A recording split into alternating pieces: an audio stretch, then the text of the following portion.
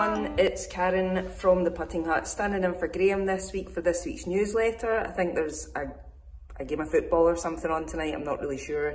So Graham is chilling out today, just trying to keep his heart rate low so that he can allow it to maybe pick up a wee bit for the game. So anyway, so exciting times. We're going to be running a putter fitting event where you can check out if we have any putter that is going to make you putt better in home or putts, or if in fact you know that your putter is actually the best one for you and we can check out the measurements of it, whether it's the right length and the right lie for you. So I'm going to show you what we would do here in the putting hut with the SAM Lab SAMLab is the most technological or the most advanced putting analysis system that's out there um, and we can get you on that, which is what we're going to do in the putting event, just to make sure that we're letting the technology make the decision for us as well as my expert eye. So look out for the event, it's going to be happening Thursday the 6th of June, certainly, and probably a weekend date after that to give everyone an opportunity to come in and check it out but I'm just about to explain to you what will happen in the session. So here what we have is the summary results of someone that has done a putter analysis. So in this case, we measured eight putters in total, which is the maximum amount that the SAM lab will allow us to, allow us to measure any one time. And what you can see here is the overall results on this side here. We have quite a significant difference in some of the putters. So the bottom putter there at 61.3% as an overall rating was this individual's own putter. Um, and so you can see that we have a, a better putter up the top and two better putters. So what we did is we took the two best ones and we did a second check just to make sure that it wasn't just luck and that it's we're not getting down to fluke. So we took two of those putters, we tried them again, and now she is away with this uh, lovely, the GT rollback putter, the TaylorMade one. So how does the fitting event work? Well, we have the SAM system here and we set up what is called a triplet onto your putter.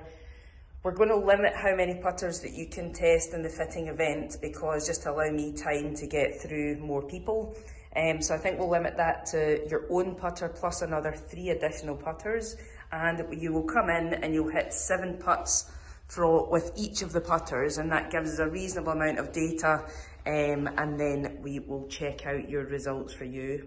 Now, if you don't want to test a new putter, but you're someone that's got three or four putters at home that you want to try, then you can bring in your own putters um, and we can do a comparison on some of the current lovely putters we have in stock from Ping to Wilson and Cleveland frontline putters and a lot of lovely TaylorMade. So why check out which putter suits you? So I guess a putter could be otherwise known as an alignment system. So, and big part of putting, you need to be able to get the ball going in the correct direction. So with these two putters, you can see the head styles are the same, but the hosels are different. So we have a single bend on the left and we have a short slant on the right hand side. Hopefully you'll see that's the black head is the short slant neck.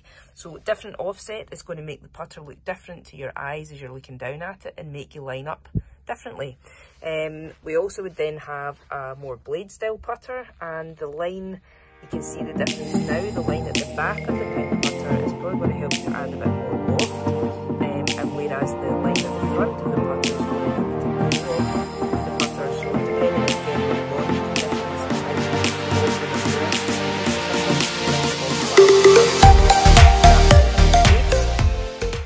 simply you could go for something that just picks the ball up.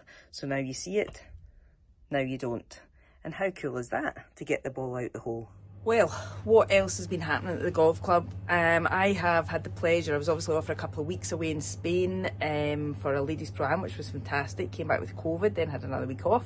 But I've been out in the course for nine holes the other day there and on the putting green as well the week that I came back what a difference to the richness of the greens so and the grass on the greens. The course is just getting better and better so well done to the green staff for keeping it in top tip top shape.